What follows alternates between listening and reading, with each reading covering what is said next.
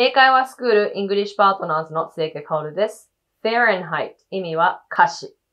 え音節は3つです。Fahrenheit になります。で、アクセントは A と2つ目の E につくので、Fahrenheit になります。一緒に発音してみましょう。Fahrenheit はい。Fahrenheit はい。Very good. 歌詞の例文はこちらです。一緒に練習してみましょう。アメリカでは歌詞を使う。In the US, we use Fahrenheit. はい。Very good. 歌詞100度を超えるといつも驚いていました。I was always surprised when it hit 100 degrees Fahrenheit. はい。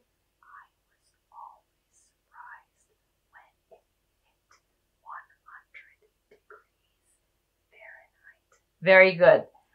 Fahrenheit 意味は華氏。ぜひ合わせて覚えてみてください。